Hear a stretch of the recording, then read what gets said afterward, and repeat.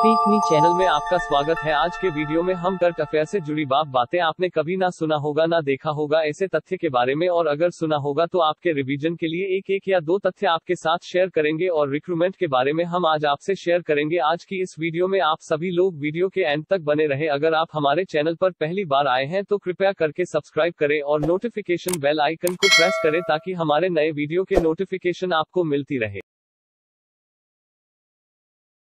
खाड़ी क्षेत्र में भारतीय जहाजों की सुरक्षा के लिए भारतीय नौसेना द्वारा शुरू किए गए ऑपरेशन का नाम क्या है? उत्तर ऑपरेशन संकल्प, ओमान की खाड़ी में दो तेल टैंकर जहाजों पर विस्फोट होने के बाद जून 2019 में भारतीय नौसेना द्वारा ऑपरेशन संकल्प शुरू किया गया था। भारतीय नौसेना के आधिकारिक बयान के अनुसार, ऑपरेशन ने खाड़ी क्षेत्र में प्रतिदिन औसतन 16 भारतीय ध्वज वाले व्यापारिक जहाजों को सुरक्षित मार्ग प्रदान किया है।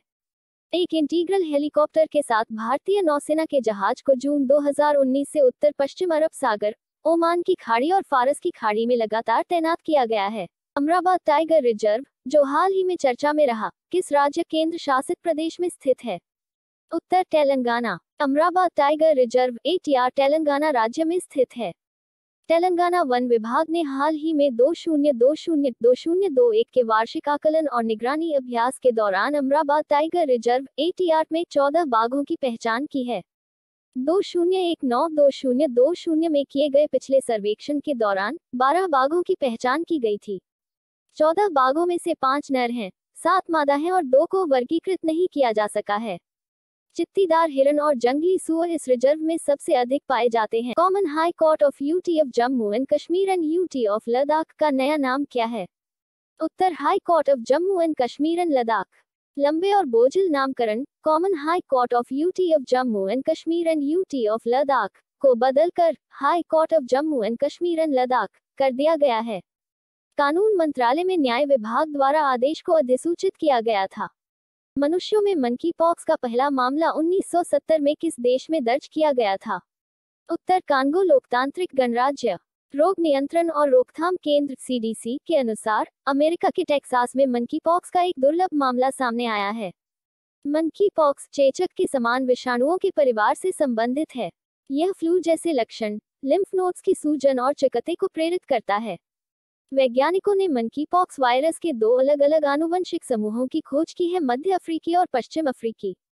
मनुष्यों में मनकी पॉक्स का पहला मामला 1970 में कांगो लोकतांत्रिक गणराज्य में दर्ज किया गया था। माना जाता है कि सेब की उत्पत्ति मध्य एशिया के देश कजाकिस्तान की जंगली पहाड़ियों में हुई थी और वहीं से सेब बाकी की दुनिया में पहुँचा।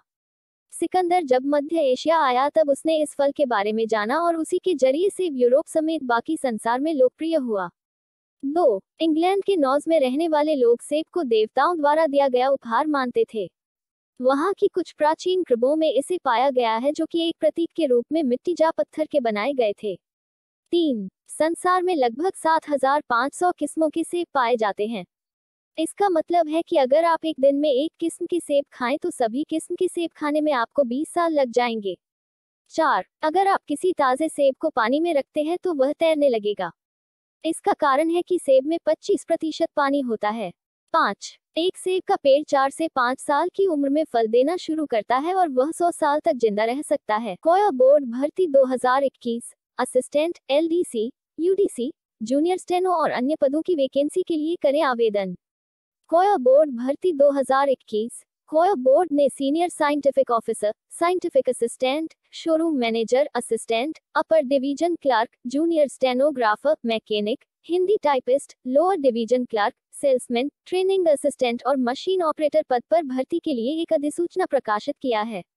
योग्य और इच्छुक उम्मीदवार H T T P colon slash slash coirboard dot gov dot I N पर 15 अगस्त 2021 तक या उससे पहले ऑनलाइन आवेदन कर सकते हैं। महत्वपूर्ण तिथि, आवेदन की अंतिम तिथि 15 अगस्त 2021 अगर आप बिना कोई इन्वेस्टमेंट के पार्ट टाइम फुल टाइम घर बैठे पैसा कमाना चाहते हो, इस वीडियो की डिस्क्रिप्शन में लिंक मिल जाएगा। आज का यह वीडियो आपको अच्छा लगा है तो वीडियो को शेयर करना ना भूले। कमेंट कीजिए लाइक कीजिए और शेयर कीजिए। आज के इस वीडियो में आप सभी लोगों ने समय देने के लिए बहुत बहुत धन्यवाद।